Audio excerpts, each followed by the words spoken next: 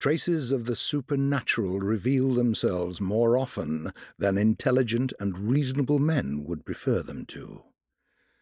Chimeras, worshipped by our ancestors centuries ago, crawl back into the light from ancient times. The directors of our fate rain ash down on us from the grey heavens. They conceal themselves beneath us, above us, and among us, staying hidden until we muster up the resolve to.